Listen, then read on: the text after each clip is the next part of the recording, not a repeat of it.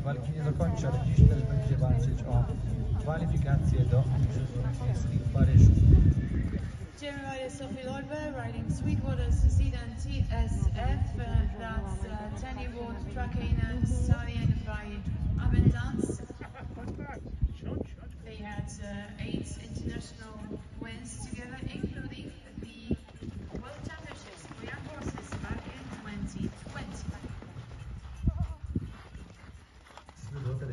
TSF od Sofii Libe wygrał 3 lata temu Mistrzostwa Świata Młodych Koni.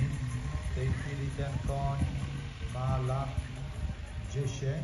No i tak mówiłem, może wyjść tutaj na drugą pozycję, bo rezultat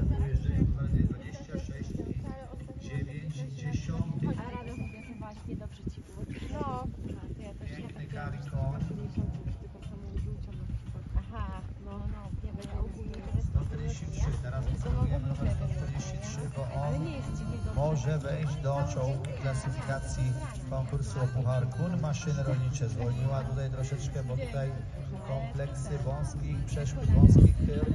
Lot to trzeba skakać z ukosa jeszcze tutaj na ten corner z takim zawijasem, ależ ktoś to wymyślił, Marcin Konarski.